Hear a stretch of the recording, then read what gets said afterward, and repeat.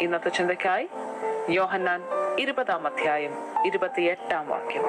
Thomas അവനോട് എന്റെ കർത്താവും എന്റെ ദൈവവുമായുള്ളോവേ എന്നുത്തരം പറഞ്ഞു. നമ്മുടെ വിശ്വാസ ജീവിതത്തിലും പലതരത്തിലുള്ള സംശയങ്ങളിൽ കൂടെ നാം കടന്നു പോകുന്നവരാണ്. എന്നാൽ ക്രിസ്തുവിൽ നിന്ന് ഉത്തരം കേൾക്കുവാനും അവന്റെ സാന്നിധ്യം അറിയുവാനും നാം ആഗ്രഹിച്ചിട്ടുണ്ടോ? അങ്ങനെയെങ്കിൽ അവന്റെ സന്നിധിയിൽ താഴ്ന്നിരിക്കണം.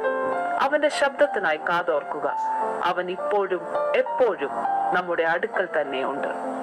കർത്താവായ യേശു ക്രിസ്തുവിന്റെ ഉയർത്തെഴുന്നേൽപ്പ് അവന്റെ ശിഷ്യന്മാർക്ക് പോലും അംഗീകരിപ്പാനോ വിശ്വസിപ്പാനോ കഴിഞ്ഞില്ല. അവന്റെ മുറിപ്പാടുകളിൽ വിരലിട്ടല്ലാതെ താൻ വിശ്വസിക്കയില്ല എന്ന് ശാഠ്യം പിടിച്ച തോമസിനോട് ഒരു പരിഭവവും ക്രിസ്തു കാണിച്ചില്ലെന്ന് മാത്രമല്ല അവന്റെ സംശയം തീർത്തു കൊടുക്കാൻ തയ്യാറായി. മൂന്നര വർഷം തന്റെ കൂടെ കൊണ്ടു നടന്ന ശിഷ്യന്മാർക്കും തന്റെ മരണത്തെയും ഉയർത്തെഴുന്നേൽപ്പിനെയും കുറിച്ച് പല ആവർത്തി മുന്നറിയിപ്പ് നൽകിയിട്ടും അവന്റെ മരണം അവരെ തളർത്തിക്കളയുകയും ഭയചകിതരാക്കുകയും ചെയ്തു.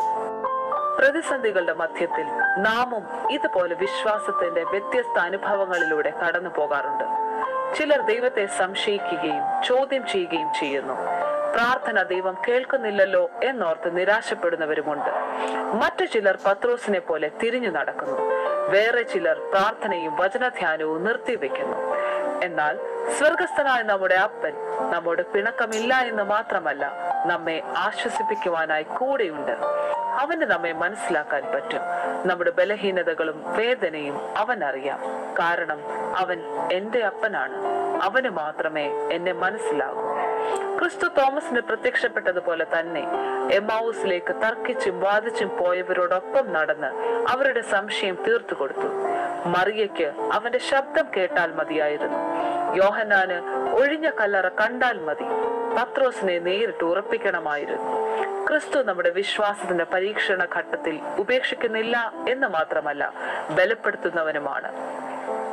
തോമസിനെ ക്രിസ്തു തന്റെ മുറിപ്പാടുകളെ തൊടാൻ ക്ഷണിക്കുകയാണ്. തോമസ് വിളിച്ചു പറയുന്നു എന്റെ കർത്താവും എന്റെ ദൈവവുമേ എന്ന്. ക്രിസ്തു പൂർണ മനുഷ്യനും പൂർണ ദൈവവുമാണെന്ന് സഭയുടെ അടിസ്ഥാന വിശ്വാസം. ആദ്യം വിളിച്ചു പറയുവാൻ ഭാഗ്യം ലഭിച്ചവനാണ് തോമസ്. എന്റെ ദൈവം അത് വ്യക്തിപരമായ ബന്ധമാണ്. നാം ഓരോരുത്തരും അവൻ എന്റെ ദൈവം എന്ന് വാഞ്ചയോടെ ആത്മാർത്ഥതയോടെ പറയുന്നത് കേൾക്കാൻ ആഗ്രഹിക്കുന്നവരാണ്. അതേസമയം അവൻ നമ്മുടെ ദൈവമാണ്. വ്യക്തിപരമായി ഏറ്റുപറയുന്നതോടൊപ്പം സഭയായി ഏറ്റുപറയുവാനും കഴിയണം. പ്രിയമുള്ളവരെ തളർന്നു പോയവരെയും വിശ്വാസ ജീവിതത്തിൽ ബലഹീനരായവരെയും ക്രിസ്തു ചേർത്ത് പിടിച്ചതുപോലെ നമ്മുടെ ഭവനത്തിലും സഭയിലും ഇങ്ങനെയുള്ളവരെ ചേർത്ത് നിർത്തണം. ഓരോ വ്യക്തിയും വ്യത്യസ്ത രീതിയിലാണ് പ്രതികരിക്കുന്നതും ഇടപെടുന്നതും. എന്നാൽ അവരുടെ നന്മ നോക്കി സ്നേഹിക്കാതെ അവരെ മനസ്സിലാക്കുകയും കൂടെ നിർത്തുകയും ചെയ്യുമ്പോൾ നാം അവന്റെ ശിഷ്യന്മാരാകും. നമ്മുടെ ബന്ധങ്ങൾ ശക്തിപ്പെടുകയും ചെയ്യും.